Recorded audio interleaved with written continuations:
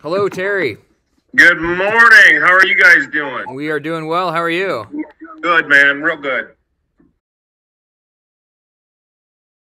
Yeah, it's a shame you guys are so far away. Otherwise, I would have just driven out there and talked to you.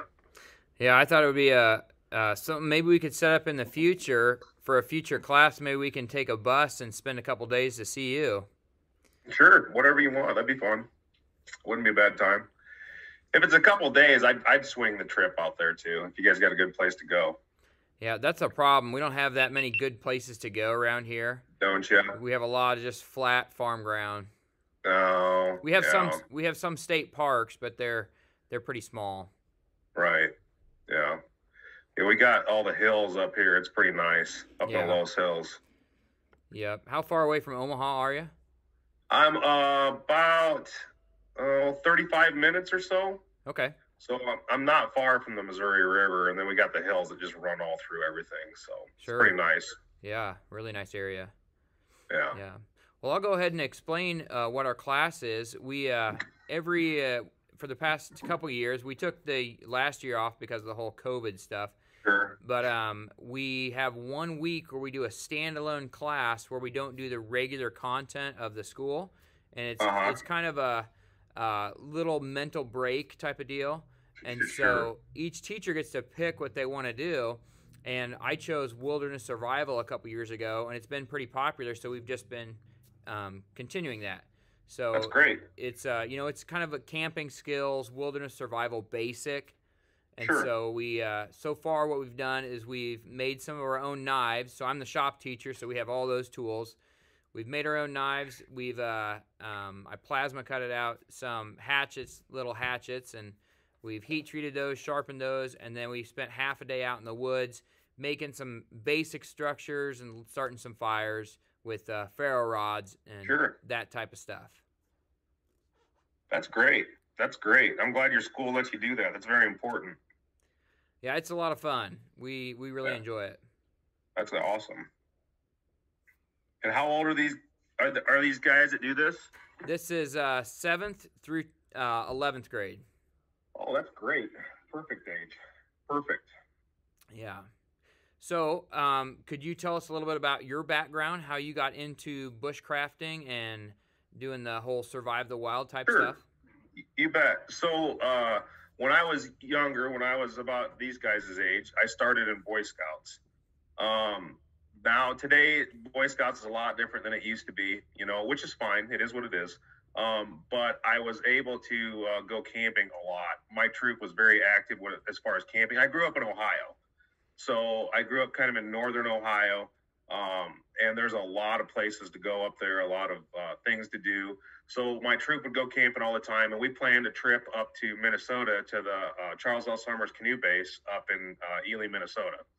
So we did a trip up there, and I absolutely loved it. And I inquired on what I could do to work there, and they said, "Well, put your application in, and we'll see what happens." And I got hired three days out of high school. I was on the road, and uh, I moved to Minnesota uh, for that summer, and I canoed probably about uh, eight, nine hundred miles that summer, and uh, I was all over in the Quetico and the Boundary Waters up there. Uh, after that, they they hired me on for their winter program, and uh, we went out there at 40 below weather. We'd spend the night out there. Um, I had some really great mentors. One was named Tom Luchins, and he was a survival instructor in the Air Force uh, for many years. He taught at the Jungle School. He taught in Alaska. He taught all over, and he was a great mentor to me. Also, uh, I had I was able to learn some stuff from Mors Kochanski. He came down and taught uh, some of us at the canoe base um, for a couple weeks, which was a very eye-opening experience. I- I'm sure you're familiar with Mors Kochanski, right? Uh, you know, just by name, I haven't read read anything Oh, of him or. Your audio. I got I got no audio on you, buddy. Sorry, I forgot to unmute. That's okay. Um, I just You heard of Mors? just heard of him. I haven't done any reading on him. So if if you uh, ever in the uh, um, market to get a book, just get the one called Bushcraft by Mors Kochanski. It's a phenomenal book. Um, and uh, he was a very he was a good man, and he ended up dying of uh, mesothelioma uh, a year before last, I believe. But anyway, after that, my one of my mentors, Tom Lucians, he talked me into going into the military and becoming a, a survival instructor in the military. And I was like, deal, I'm in. So there, I got to go all over the country, and once again, I learned from some of the best people.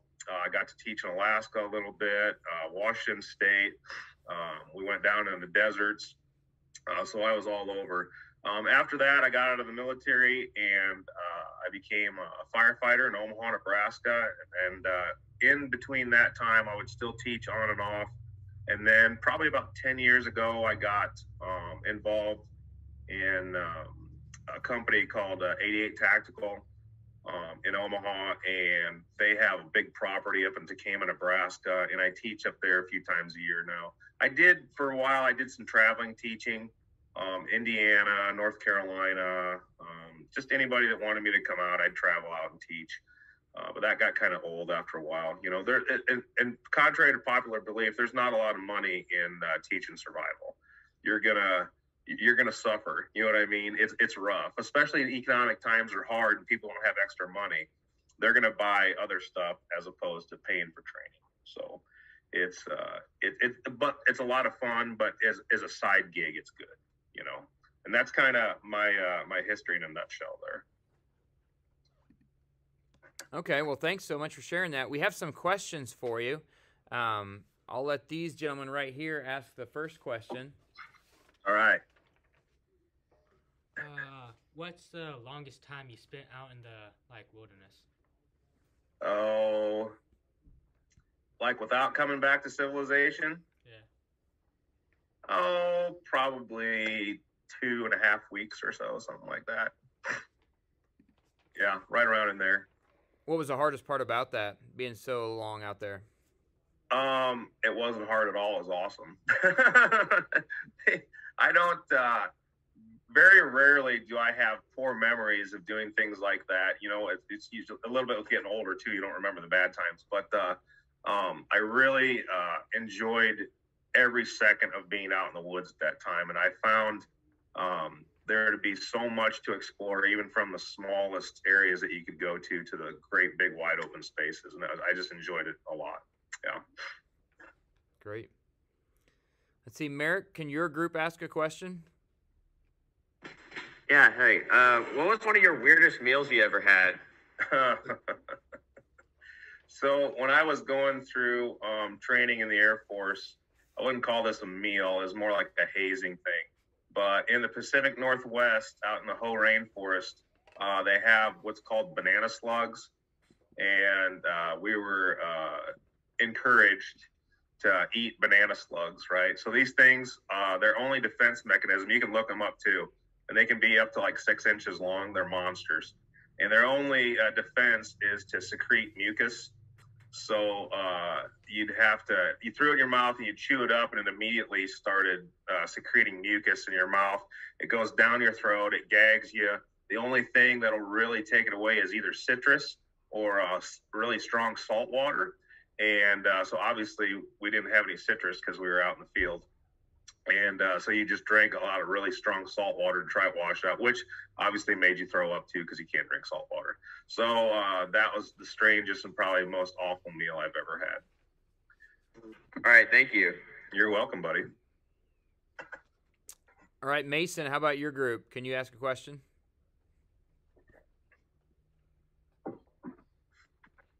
Um, what's your favorite tools to use in the uh, woods?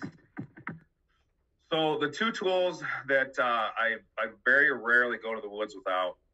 Uh, number one is uh, a small knife, fixed blade, uh, Scandinavian grind. I prefer because it's easier to sharpen and I think it's easy to maintain. I like 1095 steel. I don't get crazy about stuff. I don't. I have to reinvent the wheel. A Mora knife is just fine, um, and a fire steel, a ferrocerium ferrocerium rod. Uh, I've learned how to start fires with that and um, just about any condition I can get a fire going in that. So if I have a knife and a way to make fire, uh, I'm pretty happy. Most other things you can you can work with, right? But it's, it's hard to recreate a knife in the field, and it's even harder to uh, get fire going in austere conditions. Um, I'm not a big proponent of like friction fire. Uh, if you look back in the annals of uh, survival situations that people have actually lived in, very there's only one that I can remember right off the top of my head that a guy actually got a friction fire going, and it was in Vietnam, and it was a bamboo uh, fire saw, and he barely got it going. And it, it, I'm just not a big proponent of stuff like that. So a knife and a fire steel are definitely the two things that uh, I would take to the woods. All right, Cameron, do you have a question? What is your favorite type of shelter to build? Oh, to build or to stay in? I'll start with build first. So to build, if I'm going to build a shelter out in the field that I know I'm going to be staying in, it's probably going to be an open face lean-to with a long fire in front of it. Um, I have spent the night out in below freezing weather in a shelter like this, and it'll reflect heat back on you as long as you have a good insulation bed. Um, and it's not comfortable, and you'll sleep for about an hour at a time, but it's better than no sleep at all, and uh, it works pretty well. That's usually going to be with obviously with natural materials, right? With boughs or branches or debris, whatever you can get. You just have to be careful you don't light it on fire, obviously. Um, non-natural shelter is going to be my sil nylon eight man teepee with a titanium wood burning stove in it is is the cat's meow. I've slept in a lot of really bad places, but having a wood burning stove inside a teepee that weighs about 11 pounds is an awful nice thing. It's really nice.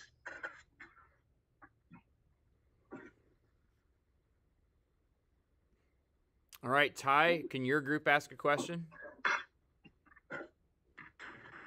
Would you rather have a ferro rod or would you rather have a lighter when you go out?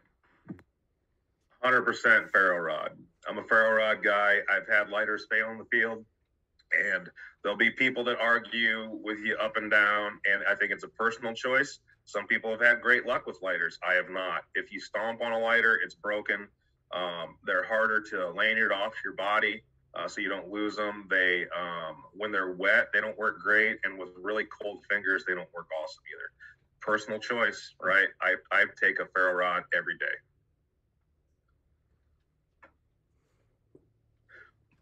All right, gentlemen, you guys got another question? Um, what's your favorite kindling to use? Um. Okay, so this is kind of a. It, de- it depends on where you're at, right? So if I'm in the Northwoods or somewhere south where there's a, a prevalent uh, coniferous uh, forest, right? A, a cone bearing trees, pine trees. Uh, a lot of times, if they're injured, you can have it get fat wood, pitch wood, whatever you want to call it. Um, and that is by far one of the best things you can use to start a fire. Now, if I'm in a primary deciduous uh, uh, forest, then I'm going to want something uh, that is dry, dead standing, about wrist thick if I can get it, um, that I can take down very easily. I don't need an axe to do it. I can break it into manageable pieces. I can baton it down, and I can get the dry wood from the middle of it. Um, in in areas where there's not a lot of uh, uh, pitchwood, sometimes you can get cedars like eastern red cedars, um, and those work. Or, or, I'm sorry, western red cedars, and those work really well as, as well. So it would probably be uh, pitchwood, fatwood, whatever you want to call it, would be my favorite, and then um, western cedar, and then if we get into deciduous forests, um, you know, mulberry works really, really good, and it's a really prevalent tree around here. So those would probably be my top three right there. As far as kindling, now as far as fire fire starters, that's a different different deal, right? So you said mulberry. You like that Yeah. for kindling? So like the little tiny parts of it. So or- mulberry, mulberry is a great tree uh, around here. Number one is it's a great resource tree, right? So it's it's easy to identify because it has a very predominant uh, twig structure and uh, it has those little berries on it, right? All the animals eat mulberries, coons, possums, you know, birds. Everybody eats mulberries. You can eat mulberries; they're great because they're an aggregate berry. Ag- 100% of aggregate berries are edible. So um, that's a great thing to know. But you cut it down, you split it. It usually splits really nice. It seasons very well. It works very well for uh, kindling. So I'm just talking like split wood fires too, right? I'm I'm a big proponent of being able to learn how to split wood. If you know how to split wood and break it down in your proper sizes, you're going to have no trouble getting wood uh, fire going with twigs. So if you always prepare yourself for the worst, it's easier to uh, perform with easier materials.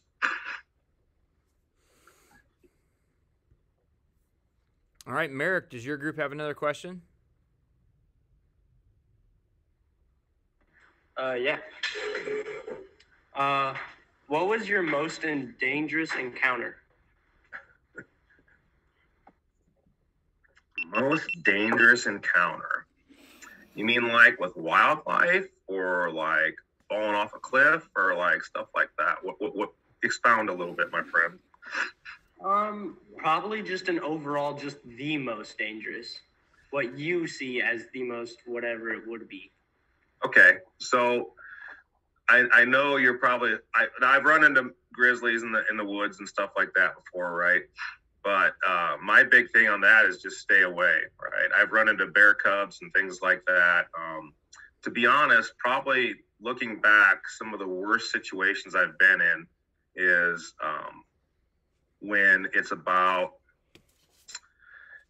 32 degrees and it's raining and snowing at the same time and you get soaked. Those, if you look through articles, if you look through um, history, becoming hypothermic is one of the worst things that can happen to you, right? And I've been hypothermic before. Um, I was actually during our training, they made us get hypothermic. We were um, on the uh, Olympic Peninsula, and they would strip us down into our shorts and submerge us in cold water, and until you started getting hypothermic, and then they'd throw you a pocket knife and a fire steel, and uh, they wanted you to get a fire going. Now, luckily, I was always good enough to get it going, or lucky enough, whatever it was. And uh, but I've saw some of my companions and, and friends and during training that couldn't get a fire going because they got so hypothermic. So hypothermia is one of those things when I look back and I've seen crews that I've taken to the woods and I I look back and I and experience has taught me that uh, those are some of the most dangerous times you can get into. It's cold, wet, uh, no way to dry out. That's that's that's what'll get you.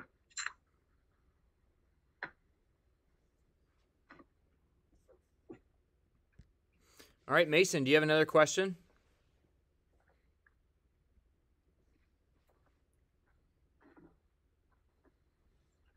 What do you enjoy most about wilderness survival? Uh, wilderness survival. Yeah. Okay. Um,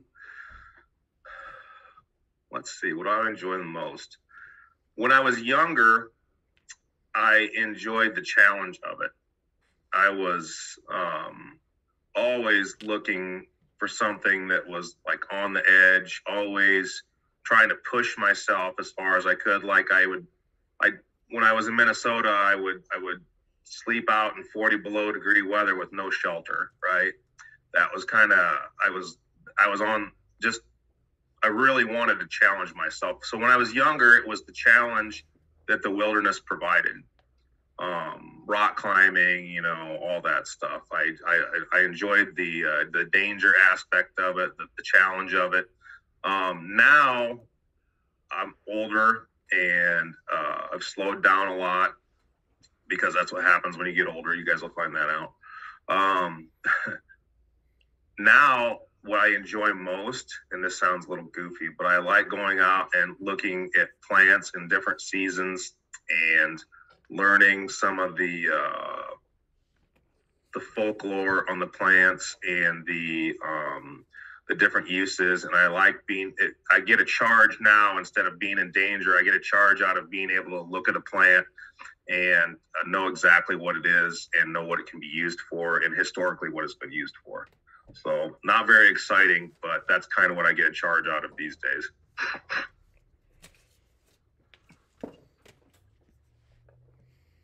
So along those lines, do you do a lot of the wild food foraging?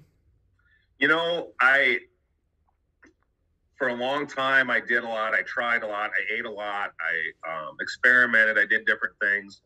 now it's just more of an identification thing for me. Excuse me. Um, I do like in this area since I've been here so long. I've been I've become I've know I know like a lot of all the basic stuff, right? And now it's like, and I've tasted most of it. I've prepared most of it. Like uh, I'll give you an example. Um, wood nettles, right? There's two types of nettles that grow around. There's stinging nettle and wood nettle, and they're very different. Wood nettles, when they're young and they're about six inches off the ground, um, you can pick them and they snap right off at the ground level. Um, you can uh, heat them up real quick in a little bit of butter, and they taste exactly like broccoli. They're phenomenal, and they have a ton of vitamins in them, and they're really good for you. Uh, that I enjoy stuff like that that I can learn, like uh, wild ramps or or leeks, right? Um, easy, and I know now when everything grows and mushrooms and stuff like that. Mushrooms are one of the more difficult ones, obviously, because they can really mess you up. Most plants don't mess you up. I mean, there's like like pokeweed. Um, you know, you can make a pokeweed. You can eat the young shoots, but when it gets older, it's poisonous because it builds up toxins in it. That's the kind of stuff that I think people need to learn. But if you learn the basics that grow like everywhere, nettles grow everywhere. Broadleaf plantain, which is also used to be called soldier's herb, grows everywhere. Yarrow. So, like the Roman soldiers, they were required to carry uh, in their in their pouches for medicinal purposes, stinging nettle, uh, plantain, and yarrow, right? And it covers a lot of bases: analgesics, um, uh, pain relievers, uh, anti-inflammatories. They have a lot of really great uses. Um, just those three herbs right there. So, yeah, that's the kind of stuff that interests me now. The historical uses and stuff like that. Native Americans, what they use certain things for too, you know. But but with that, um, I, I've read a lot of books on that, right? And I'll like an example is they say uh, blackberry leaves are supposed to help menstrual cramps. Well, guess what? I don't have menstrual cramps. I don't know anything about that. It's hard for me to test it, right? But if you read books, they repeat it like time after time after time after time. But I've never seen anybody actually say, hey, I tried this and used it. So I find that interesting too, how a lot of books um, can repeat themselves like almost like a parakeet, right? You know? So anyway, I ramble. I, I forget. Forgive me. no, that's good. We uh we we don't ha- have near the um, wealth of knowledge that you have. So anything that you're anything like rabbit trails are still good trails in my opinion. So. right. I agree. Right. So Cameron, do you have a question you can ask?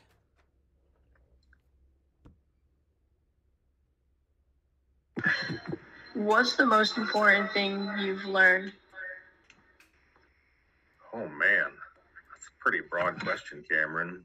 Um, okay. Most important thing I think I've learned through my own experience and through reading what has happened to people is being prepared. Most people who get into wilderness survival, who get into um, the outdoors, most people are prepared for it. And if they're not, then they learn through experience real quick. So being prepared, having the right equipment with you. There's a lot of people that will teach, um, and I'm not opposed to any of this, don't get me wrong, but there's a lot of places that'll teach, like, well, you can do a hand drill to make a fire, you can do a bow drill, you can do this, you can do that. Uh, all these different techniques. You can make a, a, a knife out of a rock and you can use this. That's all great but in today's day and age, if you're going out in the woods and you're not prepared to go out in the woods, you're probably going to be in trouble. Um, so being prepared, having the proper gear with you at all times, having some sort of uh, knife, some way to start a fire, a way to collect and contain water, um, uh, a way to put up a quick shelter, things like that are are probably in my mind the most important things and that's what gets people through tight spots. It's not rubbing two sticks together i can tell you that much. You know it, it, repeatedly you can look at people that have gone through these situations and they almost always are, are relying on gear that they have and if not they're they're in trouble. And i'll give you an example. So when i was um, in the military we did a lot of search and rescue stuff out in the mountains. So there was this during elk season, there was this guy that uh, had a license plate up in Idaho. His license plate was called Frosty One, and he always wore a t-shirt out. He never wore a coat, and everybody thought that was great, right? So he goes out, and he's actually an elk poacher, and he goes out and he shoots an elk, and he gets out of his vehicle and he starts tracking it. Well, all he has is a t-shirt on, nothing else with him. Maybe a knife, I think. Might he, might have had a book of matches. So he starts tracking this elk. Well, nobody sees him for a day or so, and they find his truck and they found some tracks, and then it started to snow.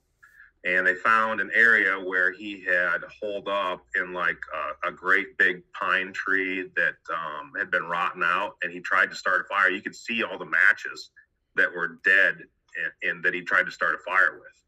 Um, and he wandered off. We searched for him for two days. Ended up snowing five foot on us in two days and uh, obviously we couldn't find him. They found him later in the spring um, down in a ravine, and he was obviously passed away. But uh, he didn't have anything with him, and he was arrogant, and that's probably what what got him. You know, was not having any equipment. So having that equipment with you is very very important. So along those lines, what are your top five items? If you had you had a pack and you had mm-hmm. just enough time to grab five items and then you're going to be thrown in the woods for an indefinite amount of time, what would your top five items be? Obviously, a knife is going to be one. Fire steel, sleeping bag, tarp,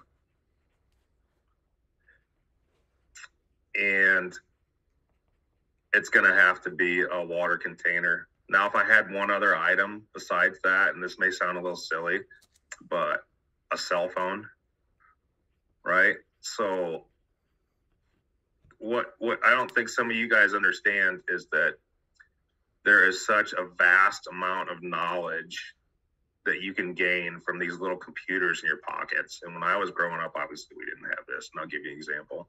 Um, when I was younger, I was obsessed at learning how to start a bow and drill fire, right?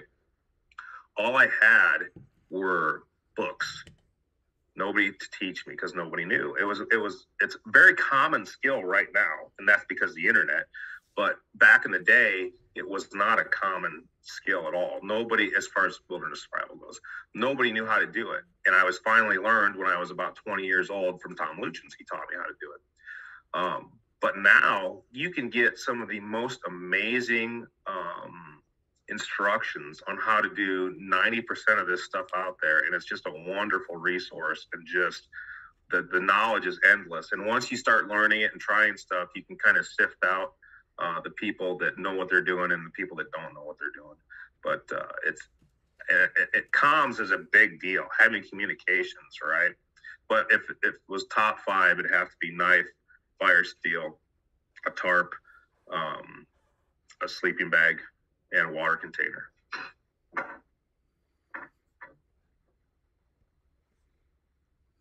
All right, very good. Let's see. Ty, do you have another question? Uh, what's your favorite like boot brand that you would wear out in the wild? Oh, boots. Now that's that's a good question. So for back in the day, uh, I got issued um, Fort Lewis Danners, and they're a great big heavy duty boot that were Gore-Tex lined, and we wore them all the time. I still have two pair of them that I bought over the years. Uh, super solid boot. For most of what you do, though, I I like uh, Salomon boots, um, Gore-Tex lined and then with a pair of Gator, Gore-Tex Gators over the top of them, it keeps a lot of stuff from beating up your boots. Boots are expensive, man. You get what you pay for too. Uh, there used to be a lot of really good brands of boots, and now I think it's kind of it's getting whittled down to just a few. Everything's built so cheaply anymore, and I've even had trouble with Salomons and, and Danners every once in a while. Um, but yeah, those and they're expensive, man. God, they're so. Expensive. I like a pair of boots, a pair of Danners that I have is like 300 bucks. That's crazy, right? Um, the Salomons that I wear, I wear Salomons every day. Um, I have for years. Um, you're usually a couple hundred bucks for a pair of boots, you know. Um, the shoes, the hikers are, you know, 150 or so ish. So, yeah, Salomon's and Danners, my favorites. And, if, for a pack boot like Sorel's, and a pack boot, what I'm talking about a pack boot is it's a, it's like an outer boot and then uh, like a felt and wool liner that slides in them. Sorel's are, used to be a real good brand. I don't know so much anymore, but I wore a Sorel's a lot too out in the up, up in Minnesota in the wintertime.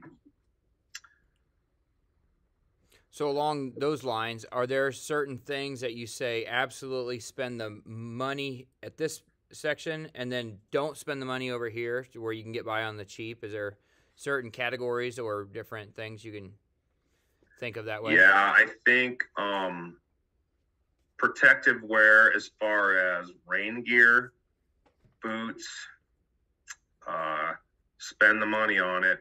You know, get good Gore-Tex stuff that's been tested. Outdoor Research is a good brand. Um, I I really like like Climashield, Apex type stuff. Um, Kifaru, Kifaru, however you want to say it, they make some really solid stuff. Um, it's expensive. God, it's expensive, but it's nice. Um, Hill People Gear makes some good stuff. Um, but yeah, boots, outerwear is important, super important. Like a knife, you can use just a, a $15 Mora for years and years and years. I have a Mora 511 that was given to me by Lars Fält, who was the, um, he was a colonel in the Swedish military and he, he gave it to me when he came and visited the survival school. He's written several books. Um, he's uh, he's a very knowledgeable guy. But I've had that knife. I still have it. I've cleaned tons of animals with it. I've split tons of wood with it. I've just and it's just a small little knife, you know. Um, but it works great. But knives are pretty easy to get by with with a cheaper option. Um, let me think. Packs. I like Kifaru packs. They're bomb proof. Um, shelter material, man, a good tarp will last for years. I actually part owner in Bushcraft Outfitters, and we sell tarps. And one of the reasons that I started doing it was because there was a lack of what I considered good tarps out there. Um, that's what I carry and use. Hammocks, I like. Um, oh god dang it, Warbonnet. I have a one of their bridge hammocks that is just phenomenal. Uh, teepees, I like Seek Outside. They make some really good products. Um, outdoor research for gaiters, Gore-Tex coats. Let's see. Yeah, right off the top of my head, I can't think of a whole lot else. But you know, there's there's a lot of stuff that you can do um, that doesn't cost a lot of money, like fire starters, right? Vaseline and cotton balls in a small container, they're your friend. That's phenomenal. 550 cord, you can get 550 cord dirt cheap, and it works great for all kinds of stuff. You don't need anything fancy, you know. Um, that's a, a really common item to have is 550 cord, right? It works great. Uh, let's see what else. Right off the top of my head, I can't think anything super special. There's a lot of stuff out there that's real gimmicky, right? Um, and unfortunately, there's a lot of people that are like used car salesmen, and and they'll do all these commercials, and they'll have all these people that'll be all like, "This is the best." These influencers, right? Um, but a lot of it's not that great. Like uh, Nalgene stainless steel bottles, um, single wall, those are great. If you want to spend a lot of money, you can get heavy cover titanium stuff. That's great, but super expensive. Um, yeah, that's about it for that kind of stuff.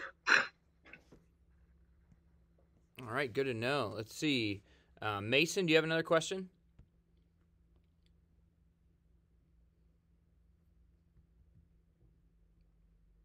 Uh, no. Okay, what about Cameron? Do you have Come any, on, any other questions? No, there's no questions. Ty, do you have any more?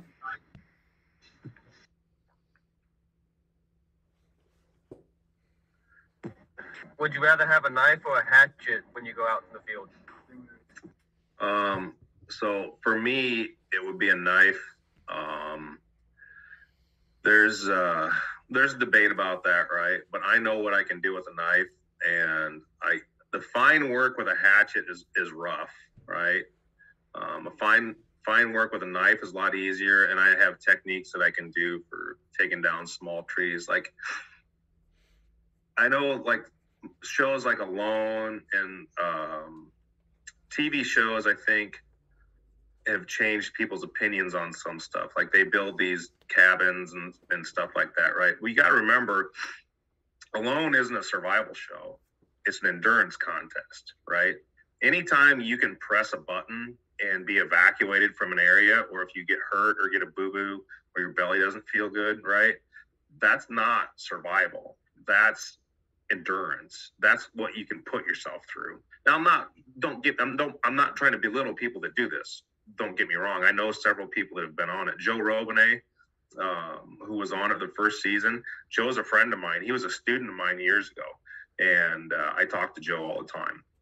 But I do know that it, it's a contest, right? It's a contest to win money. So when you see all these guys out there with their big axes and big saws and stuff like that, that's great. But they're trying to build themselves a shelter that they can stay in for an extended amount of time and, and try to stay warm and just hunker down. Now, true survival, you always have to remember that true survival isn't how long you can stay out there, it's how quick you can get rescued. So there's there's a big difference between survival and endurance. Um, endurance is, is a contest. Survival is not a game. You need to get out of there. And most of the time, in, in these survival quote unquote situations, you're going to be injured as well, right? So swinging a hatchet is is kind of rough to do if you're injured, especially if, if one arm is injured or a leg is injured, right? It's a lot easier to manipulate a knife than it is a hatchet. So for for more multi-purpose use, I would prefer a knife for sure. All right, Merrick, do you have any other questions? Uh, yes. Uh, what do you recommend the most in a med kit? Uh, med kit. So I uh, just based on I was a paramedic for 25 years, um, and I've seen a lot of trauma, gunshot wounds, stabbings, um, horrible vehicle wrecks. Right, I've, I've I've been around the block. So for immediate immediate life saving um, equipment and a, and a first aid kit, a tourniquet, and I like North American Rescue, and learn how to use the tourniquet, right? And uh, a compression dressing, which is going to be used in an area where you can't get um, a tourniquet on, so someplace it's not your limbs, right? Um, after that, uh, steri strips, and this is this isn't just like paramedic stuff. This is just like stuff I've learned over the years. I like steri strips a lot.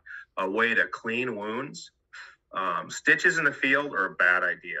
All you're doing is poking more holes in yourself and introducing other places for uh, infection to get in. And most of the time, um, like people that show how to do stitches and things like that, I've had lots of stitches, lots and I've never not been able to control bleeding on a small cut that took like a dozen stitches or so.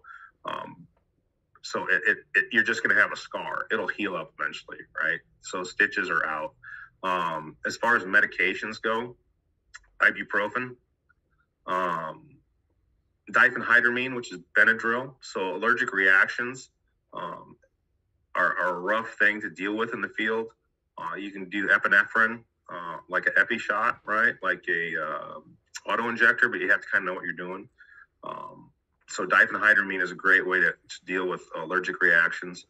Um, Imodium uh, to stop diarrhea because dehyd- dehydration will get you. Uh, iodine, which is good for cleansing wounds, and also you can use it to purify water. Um, let me see. Good band aids like cloth, high strength band aids. Don't get cheap Walmart junk, right? Um, let's see what else do I carry in my stuff. Uh, there's some pretty cool stuff. Little soap uh, wafers, right? Sea to Summit used to make these, and they're like they're great just for cleaning up. Um, this is a weird one that that's really hard to replicate. Um, toenail clippers, right? And I know it sounds dumb, but it's hard to replicate toenail clippers in the field. Like if you get a hangnail or um, ingrown toenail or something in the field, a pair of toenail clippers is the best thing to fix that. Um, let's see. What else do I carry in there? I like iodine prep pads, and they're good for starting fires if you have to as well. Um, I usually carry an occlusive dressing of some sort, which is like for puncture wounds to the chest. And that's just because of my experience and the stuff that I've seen. Um, oh, Sudafed. Sudafed's a good one um, because not only uh, can it like clear up any of your sinuses or, or it dries up mucous membranes, it will also um, drive away hunger. So you can take a few Sudafed and uh, it keeps you from getting hungry. Um, and obviously, don't grab all this stuff until you talk to your parents, right? This is like, you know what I'm saying? Some of it can get a little dicey sometimes. Um, let's see. What else do I keep in one of my kits?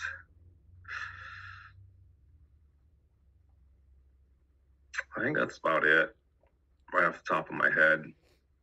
Basic stuff, right? But but a big thing with it. Oh, triangular bandages. Triangular bandages are huge, man. You can use them to sling and swath arms. Um, you can use them to um, help splint. SAM splints are another good one too from North American Rescue. They're great. I've used those in the field quite a bit. Um, but yeah, that's so SAM splints, triangular bandages, tourniquet, pressure dressing, that's like your your big ones for immediate injury, and then just those list of medications, some good band aids, a way to clean up, toenail clippers. So nothing too crazy. That's a good question, though. All right. Do you guys have any other questions? Uh, what's your favorite location that you've camped at? Oh, that's a good question. So, up in the Quetico, about 12 miles from Prairie Portage, which is a ranger station up in the Quetico. Um, there's two lakes that the height difference is really huge, right? So it makes a waterfall. And it's uh, Louisa Falls. It's on the border of the Louisa Lake and Agnes Lake Agnes. And it, it's, it's this waterfall that comes down, makes a big pool, and then comes down again. And there's a campsite that's right next to it, and it has kind of like a sandy beach on it. It's absolutely gorgeous. And I've stayed there probably about 10 times or so uh, over the years. And it's a place I'd like to visit again too, because um, I haven't been there in 25 years, 30 years, you know. Um, but it's actually absolutely gorgeous. And it's just the sound of the waterfall at night when you go to sleep is just, I just think it's phenomenal. It's just super peaceful, super chill. I like that a lot. Yeah. That's one of my favorites for sure. All right. Well, Terry, thanks so much for talking with us today. If uh, my students want to learn more about what you teach and uh, follow you, where could they follow you or um, learn more? So I have a Instagram. It's IA Woodsman, or if you just put Terry Barney in there, it comes in. I think I got like seventeen thousand followers on that one or so. And then I've got my Iowa Woodsman YouTube channel. I haven't done um, videos in a while. I kind of got burnt out on it. I think I have a couple hundred, and I started like a long time ago, like 10, 12 years ago, something like that. And then the whole YouTube thing kind of just got old. I don't like. I I did it because it was fun and because I, you know, and because I wanted to get good information out there. And I got kind of the whole social media thing anymore to me is kind of a drag. You know, I um, I just don't enjoy it like I used to. So nasty sometimes, and there's so many people that are just unhappy people, and I feel sorry for them, and I and, and I and I don't like surrounding myself with negativity because I just don't think it's good for anybody. So um, that's not to say that there's not good stuff on there too. Don't get me wrong, but it's just I just don't I just don't like the negativity of, of social media. I think it's very divisive, and I think it's very, especially for young people, it's not easy. Like your guys' age that all you guys are, um, it, it's not an easy age, right? It's not. You're still figuring out who you want to be, and you've got you've got so much going for you. You live in a great country. You guys have obviously great teachers, right? You uh, you guys got so much going for you, and don't let anybody drag you down. Don't uh, don't don't don't think that you have to do what everybody else does. I never spent a day in college, and and I'm not saying there's anything wrong with college. Don't get me wrong. I'm not saying that, but my guidance counselor told me that I should probably not go to college, and you know, and I think that he was probably right. I wouldn't have done well in college because I had too much on my mind. I couldn't have concentrated. Now, since then, I've taken tons of classes. And I actually teach at a community college in Omaha. So it's, you know, education is super important, but education comes in a lot of different forms.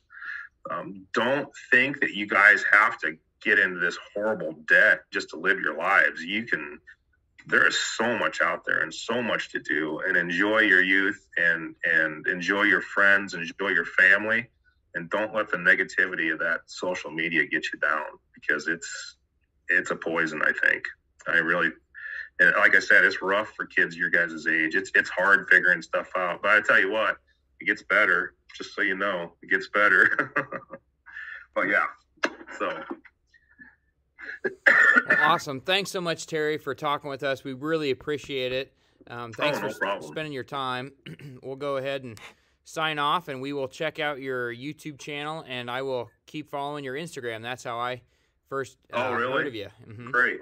Yeah, yeah, that's uh yeah, more than and you guys uh I I I'll answer questions. I don't if you got questions, post them up on uh on Instagram or send me a, a, a DM or whatever and it, it, it, takes me a few days usually because I don't like I said get on it too often. But yeah, ask questions. Um, feel free. I have no problem with that at all.